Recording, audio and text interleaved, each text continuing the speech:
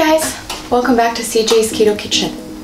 Tonight we are making the second recipe in our Easter special and it's going to be country ham au gratin bake. So come along with me and let's get started. So ham is a traditional food during the Easter season and a lot of times you end up with excess ham after your Easter meal. So this is going to help you incorporate using up some of that leftover ham after your holiday. It's a very easy recipe and it's very traditional as is scalloped potatoes, but potatoes are not very keto. So instead we are going to be using turnips, but it is a very simple and easy recipe and something that your family is sure to enjoy. So come along with me and let's get started. So to begin our ham bake, we need to do two things. I've already started pre-warming about two cups of cut up ham. And you can use whatever ham you had for Easter, or you can of course buy ham if you're making this at another time. And that's two cups. And I've warmed that in about a tablespoon of bacon grease. To our cubed ham, or cut up ham, I'm going to be adding four chopped green onions and a tablespoon of fresh chopped thyme. And I'm going to warm that with the ham.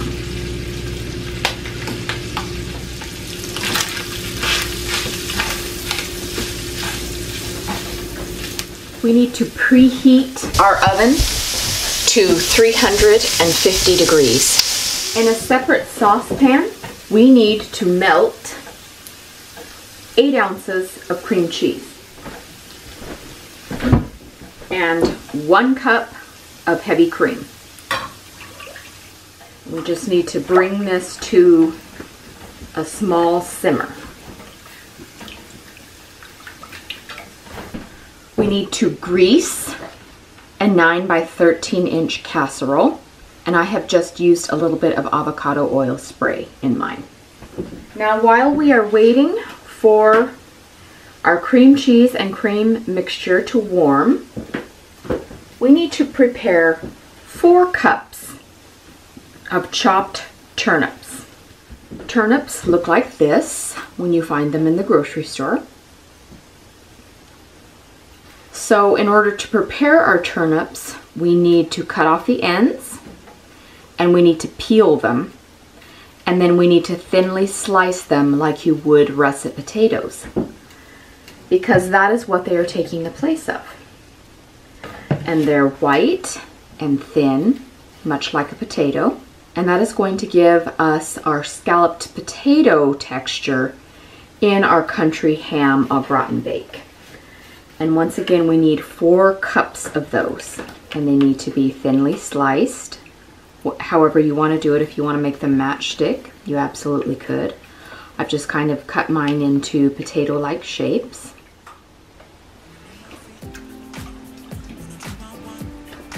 And I'm just stirring this mixture to try and make sure that it stays smooth as it's heating. To our cream cheese and cream mixture, I want to add a little bit of seasoning. I'm going to use a little bit of 21 Seasoning Salute. And I'm also going to put in some salt and some black pepper. And it's starting to smooth out as it comes to heating. Now to this mixture, I'm going to add about a cup of shredded sharp cheese. You can use whatever kind of cheese you would like. If you would like to use a Gruyere or something that is um, very strongly flavored, typical in scalloped or au gratin potatoes, you could definitely use that. I'm just going to be using sharp because of its strong flavors. And I'm just going to stir this and it's gonna get nice and creamy and melted. It's just the texture that we would like. It's nice and smooth now and I'm going to remove it from the heat. So we want to take our casserole dish and like I said it was greased And we want to put about half of our turnips in the bottom and just kind of spread those around. And we're going to take half of our ham mixture sprinkle that over the top.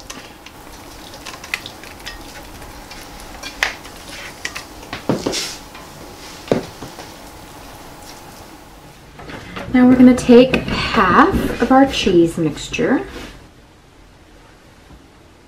and spread that over the top. And we're just going to kind of spread that around. And then we're going to take about two tablespoons of butter. So I have four tablespoons total. And I have just cubed it into little tiny cubes. And I'm just going to kind of sprinkle them around so that when it bakes, it's going to melt in a nice buttery layer. So then we're going to take some more of our turnip and put it over the top, just like you would regular scalloped potatoes. And just try and make a nice even layer.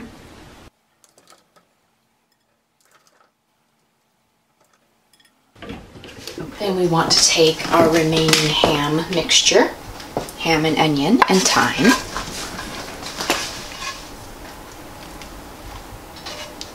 and just get that evenly over our faux potatoes. And then we are going to take the rest of our au gratin sauce pour it evenly over, scraping every last bit out with our spatula. And we're just going to spread that around as evenly as we can to make sure that all of our faux potatoes, our lovely little turnips, are covered with sauce. And then once again, we are going to take our other two tablespoons of butter that we have cubed up, we're just going to dot that on the top like we did with the first layer, just kind of all over, because butter makes everything better. Okay, now I'm going to cover this and put it in the oven for 30 minutes. And then once 30 minutes has arrived, we are going to remove the cover and we're going to cook it for another 45. So first off, we are doing 30 minutes covered and I'm going to cover this with foil. Preheated oven we go for 30 minutes. Okay, so it has been in for 30 minutes. So now we are going to remove the foil carefully. And then we are going to put it in for another 45 minutes uncovered. So and towards the end of our 45 minute um, session, we are going to add a little bit more cheese to the top. But for right now, we're putting it back in, still at 350 degrees for 45 minutes.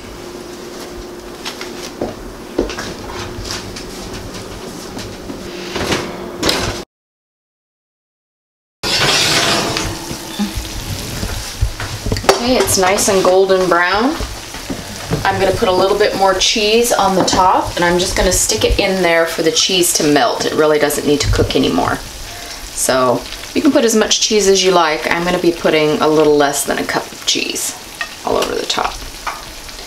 And I'm just gonna put it back in the oven just to let the cheese melt. I'm going to turn off the oven temperature because we don't need to cook it anymore. This is just to let the cheese melt.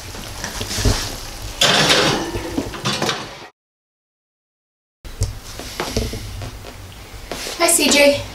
Hi, Tonight we have some stick to your ribs home cooking. I see that. Very country. Why are you serving me potatoes? They're not keto. No, they're not. But apparently you grew up eating turnips and I did not. Yes, I did. Actually, I did. So this is country ham au gratin bake and it's got turnips, but they look exactly like scalloped potatoes. I sure do. See if they taste like it.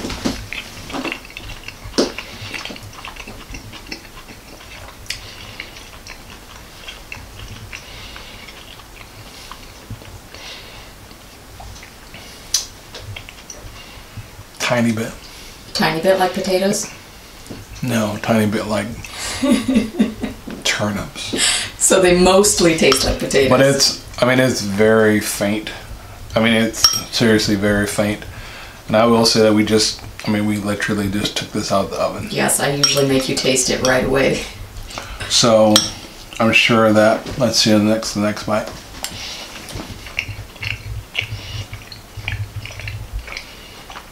Mm-mm. It's so faint. You wouldn't be, you can't. It has the texture of Oh yeah, potatoes. it looks. sure. They look like, and this is actually the batch that we need to be taking a picture of. it actually looks. They look like potatoes. just like the way they're cut and yeah, they look like potatoes. yep. So Betty Crocker, eat your heart out. I know you didn't want to get one of those. What do they call it? Mandolin. You didn't want to get a mandolin. I just used my knife. Yeah, but uh, you totally could. yeah, you can get if you had a mandolin. You probably could get it even thinner. Yeah. We might have to invest in one. It's just where to put it in our tiny kitchen. Mhm. That bite, I didn't taste any turnip. It's good, baby. I think I really think you could put this out at a, Potluck or a something. potluck or something. people. People. wouldn't know the difference. Awesome. So good job. And I know this was a, I know this was a stressful recipe Just because I've never made it because you before. never did it. I've So, never worked with turnips, so Yeah. So good job. thank you. Thank you. Bye bye. Okay, I am from southern Idaho, born and raised. And if you don't know, Idaho is famous for their potatoes. And eating this, I seriously would not be able to tell that these are potatoes. Sure. I'm serious. You can believe me, you can trust me, because I am a potato expert. Good stuff. Hmm. Thanks for joining us again tonight, you guys. We hope that you enjoy the country ham au gratin bake as much as our family did. We hope that you will consider subscribing and hitting the notification bell. We upload new recipes every Sunday, and we also have keto conversations on Wednesdays. And we also talk about other topics, and we have sometimes ketogenic food unboxings. So be sure and join us on Wednesdays as well as Sundays. We are also on social media. We are on Pinterest, Instagram, Facebook, Twitter, and a lot of times we release teaser recipes on both Facebook and Instagram. So please join us there, and that's CJ's Keto Kitchen. Also on our blog, cjsketokitchen.com, we have all the nutritional information, the full printable recipes, macros, and any other information that you might need about this recipe and any other recipe that we have made so far. So head on over there if you need any further information. So we hope that you'll come back and see us again, and we'll see you next time on CJ's Keto Kitchen. Bye.